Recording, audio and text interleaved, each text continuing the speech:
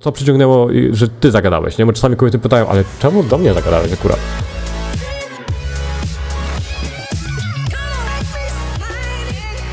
Każdego dnia zrobię jedną małą rzecz, z którą czujesz się niekomfortowo, której się boisz. Czyli nie musimy skakać na bungee, ale skoro boisz się odzywania do nieznajomych dziewczyn, a chciałbyś to przełamać i poznawać sobie kobiety, dać sobie więcej możliwości, no to zacznij tam od patrzenia się im w oczy. Zacznij się od uśmiechania do nich, jak się mijasz. Zacznij do y, mówienia im cześć albo dzień dobry, a potem dodawaj miłego dnia. Po kolei staraj się przełamywać jakiś taki dyskomfort w odzywaniu się do ludzi, a potem z czasem staraj się pokazywać, że chciałbyś ją poznać. Bo ciężko jest y, na ulicy zamienić kontekst, że szukam na przykład poczty na dłuższą rozmowę, bo ona wtedy myśla, a, czyli tylko tak ściemniałeś z tą pocztą. Więc trzeba się nauczyć potem pokazywać, że hej, jak masz na imię i pokazać jej, że chciałem konkretnie z nią porozmawiać, a, a nie na zasadzie udawania, że, że szukasz czegoś i chciałeś ją zapytać o radę i, i potem dalej ciągniesz rozmowę, nie, że co lubisz, y, jakie masz hobby, masz jakieś talenty, grasz na instrumencie, a ona, no ale ty pytałeś tylko o drogę, to o co chodzi. Więc, więc jest taki wtedy jakby to się jest nie- niespójne. Więc jak chcemy już potem dalej się rozwijać pewności siebie, no to dążymy do tego, żeby potrafić tym kobietom pokazać delikatnie, że jesteśmy nimi zainteresowani, ale nie w sposób taki osaczający, jak to robią niektórzy pseudospecjaliści, że spodobałaś mi się, chciałem cię poznać, tylko bardziej delikatnie. Większość kobiet się po prostu obawia obcego faceta na ulicy, albo tym bardziej dwóch, więc zakładamy z góry, no, że chciałem taką barierę przełamać z tobą społeczną, z tobą konkretnie, to też pokazuje, że chodzi o ciebie, a nie o jakieś mięso, worek treningowy. Jak masz na imię, to jest kolejny komunikat, że chciałem poznać twoje imię, chciałem ciebie poznać. To jest, jak się ludzie poznają, to mówią, jak masz na imię. I wtedy ona wie, o co chodzi. A jeżeli na przykład nie spytasz o imię, no to ona wtedy będzie myślała, hmm, no i co dalej? To ale to jest, robisz jakieś ćwiczenia? Czy ktoś ci to kazał? Czy to jest jakiś zakład? Czy robisz jakiś trening pewności, tak? Czy czemu akurat do mnie zagadujesz? Tak, albo komplementem można zacząć, że hej, hej, chciałem przełamać taką barierę, albo hej, jest dzień komplementu dzisiaj, albo cześć, chciałem powiedzieć ci komplement. A ona, okej, no to już masz jej uwagę, nie? No i tam potem coś specyficznego trzeba powiedzieć, co zwróciło twoją uwagę, że masz na przykład taki dopasowany kolor oczu do koloru twoich włosów i to jest taka fajna kompozycja. Albo, że masz takie długie, proste włosy, równo przycięte końcówki, pewnie dużo wydajesz na fryzjera. Albo na prostownicę. Albo masz takie fajne, pofalowane włosy, pewnie masz y, wysokiej jakości drogą lokówkę. Ile kosztowała? Ha, ha, ha. Albo pewnie dużo wydajesz na odżywki, na szampony i odżywki i tak dalej, masz zadba, zadbane, lśniące włosy. I to też są specyficzne komplementy, dopasowane do konkretnej kobiety, a nie jest na zasadzie, że wydajesz mi się sympatyczną, interesującą dziewczyną. No to tak można każdej powiedzieć.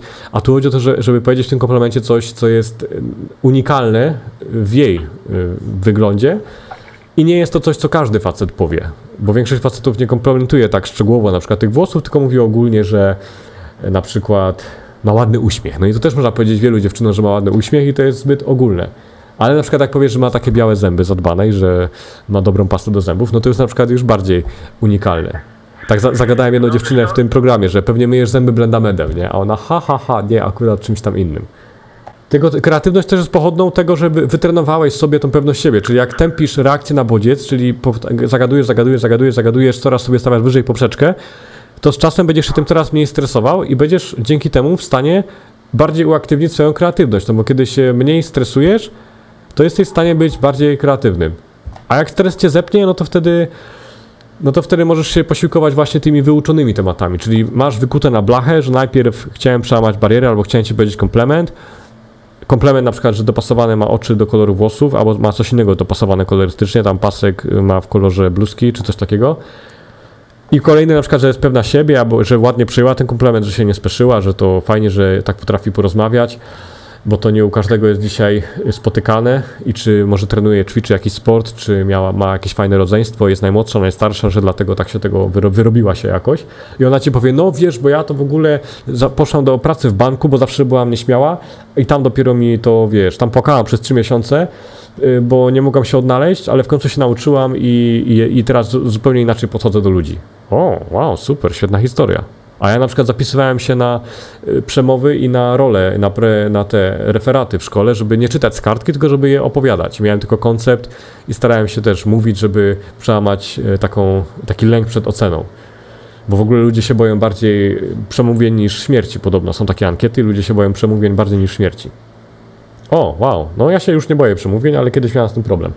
A inna ci powie tam na przykład, że, że też, że boi się, nie? No ale akurat w pracy nie musi przemawiać i to jest inaczej, bo ona pracuje na obsłudze klienta i do niej ludzie dzwonią i ona nie musi tam się jakoś produkować i można sobie tam potem dalsze tematy, też jakieś przygotowane, ale w każdym razie, kiedy masz masz troszkę tematów zapamiętanych, to możesz się wtedy uratować, że jak, ci, jak cię zepną nerwy, to można powiedzieć, o, a jakie masz hobby?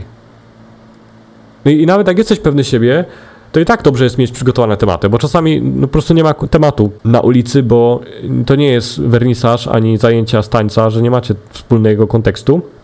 Więc trzeba przez te pierwsze kilka, kilkanaście minut no, mieć tematy mocno wyuczone, żeby potrafić je zmieniać. Tak, od tak po prostu. Nie, nie mogę ciągle gadać o pracy, więc zmieniam. A jakie masz hobby? Co lubisz robić dla relaksu? No i, i już i gadamy o czymś innym. A jaka jest twoja podróż marzeń? I mieć, mieć wyuczone Okej, kilka pytań. okej. A jaki jest do ciebie kontakt? Preferuję numer telefonu, chyba że wolisz coś innego, bo ja na przykład na ulicy bym się też bał podać numer telefonu, więc daję kobietom wybór na ulicy, że jaki jest do ciebie kontakt, najlepiej numer telefonu, chyba że wolisz coś innego. Jak ona powie na przykład, że ma chłopaka czy coś, aha, no to super, gdzie go poznałaś, kiedy ślub? Jedna powiedziała na przykład, o, on to może być najwyżej chujowym konkubentem. Okej, to super, to zapisz mi do siebie jakiś kontakt, to sprawdzę za pół roku, czy jesteś wolna. Okej, s- wpisz sobie Sandra, coś tam, coś tam i, i spoko. Okej. A inna powie, no widzę się z tym za 5 lat, jak wszystko dobrze pójdzie, to, to dobrze. To super. To jakie masz dla mnie rady, że co cię wkurza w facetach? Co moglibyśmy robić lepiej tam przy podejściu na randce, w związku? Co cię frustruje w mężczyznach? Żebym ja nie popełniał takich błędów. No, na przykład, y, nie mów, że kochasz, jak to nie jest prawda, nie? Albo nie bądź miękkim chrupkiem, miej swoje zdanie. I coś tam ciekawego ci kobieta powie, aha, super, no to dzięki za rady. To wszystkiego dobrego. Także, to, także to pytanie, kiedy ślub, czy widzi, się, czy widzi się z nim za 5 lat, pozwala no wybrnąć z tego, że ojejku, to koniec. To nie jest koniec, że on bardzo fajnie, że ma chłopaka. No co, to chyba nie jest zaskoczony. To normalne, że dziewczyny mają chłopaków. No i można sprawdzić, czy, czy ma go długo, czy ma go krótko, czy widzi się z nim za 5 lat, czy nie, gdzie go poznała, kiedy ślub i co ją frustruje w mężczyznach i co konkretnie na przykład w nim e, sprawiło, że co ją przyciągnęło do niego. Czasami coś ciekawego też kobiety powiedzą. Jak nie wiedzą, co powiedzieć, to można im pomóc, ale to coś w wyglądzie szczególnego, czy w osobowości, czy był zabawny, czy pewny siebie, czy miał ładną twarz, co zwróciło Twoją największą uwagę w nim. No i niektóre powiedzą, niektóre nie powiedzą, też, też trzeba sobie taki dar wypracować, żeby umieć wzbudzać zaufanie, ośmielać ludzi, otwierać się przed nimi i opowiedzieć coś, co przyciągnęło, że Ty zagadałeś, nie? Bo czasami kobiety pytają, ale czemu do mnie zagadałeś akurat? No tak jak Ci mówię, zobaczyłem Cię po drugiej stronie, jak idziesz w tych pofalowanych włosach i jakoś stwierdziłem, że zobaczę, jak się z Tobą rozmawia. Stwierdziłem, że szkoda byłoby nie pogadać. Ty, konkretnie Ty mnie przyciągnęłaś. Chciałem, chciałem zobaczyć, jak się z Tobą rozmawia. I ta fryzura oczywiście. Także, także to trzeba sobie praktykować i wtedy, i wtedy no, zbierasz kontakty, jedne, jedne się przekształcą w randkę, inne nie, ale masz wtedy poczucie takiej sprawczości, że znajdę sobie inną dziewczynę, jakby ta się okazała stuknięta, to nie będę z nią na siłę. To byłem tylko na zagranicznych wakacjach takich zoo, fajnie, że w Polsce też się takie pojawiły. Super pomysł, gdzieś tam y, ogólnie o zoo y, wypisywałem w tych pomysłach na randki y, od drugiej wzwyż. Chyba, że znasz tą kobietę już dłużej, to można iść na pierwszą randkę dłuższą, ale ogólnie polecałem tam zawsze, żeby na pierwszą randkę z nieznajomą dziewczyną iść na godzinę, na herbatę, kawkę i nara. Można też być kolejną randkę z kolejną dziewczyną za półtora godziny, że jak tam przeciągniesz 15 minut, no to przyjdzie kolejna dziewczyna za półtora godziny, więc jak zmieścisz dwie dziewczyny jednego dnia albo nawet trzy, to fajnie, a jak dwie, to też fajnie, ale oszczędza to czas i pozwala sprawdzić, czy dobrze się z nią jeszcze rozmawia ponownie, czy jest zaangażowana, czy jest zainteresowana, czy cię gdzieś tam pacnie, dotknie, czy będzie się uśmiechać, czy będzie parskać śmiechem, czy nie, czy utrzymywać kontakt wzrokowy, czy nie, czy warto się spotkać drugi raz, czy nie, czy warto iść na dłuższą randkę, czy warto e, zapłacić coś więcej na tej kolejnej randce.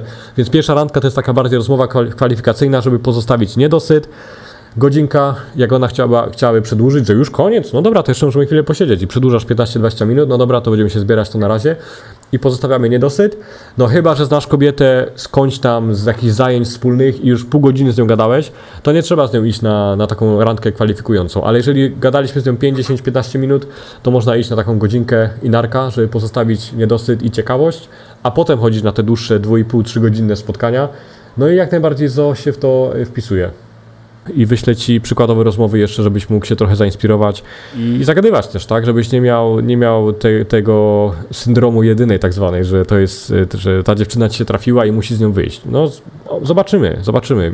Może się okaże po pół roku, że jest ona toksyczna, ja nie wiem, różne są sytuacje, różne scenariusze życie kreśli. Więc jak dziewczyna się zachowuje dobrze przez wiele miesięcy i lat, no to wtedy mamy ok, super sytuację, można zrobić przez życie. Bo to każde pół roku jest cenne. Czy masz 20 lat, czy masz 40 lat, to każde pół roku jest cenne i nie warto się cackać z kimś, kto źle rokuje od początku, więc trzeba obserwować to uważnie. Polecam postępować według konkretnego planu.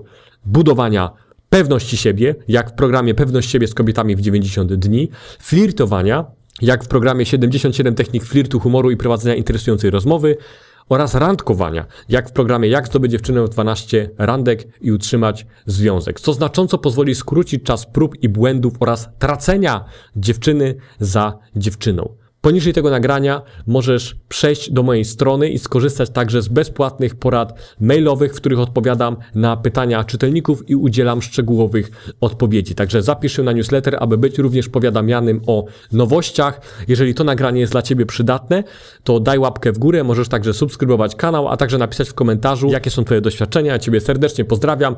Do następnego razu, do usłyszenia. Trzymaj się, cześć.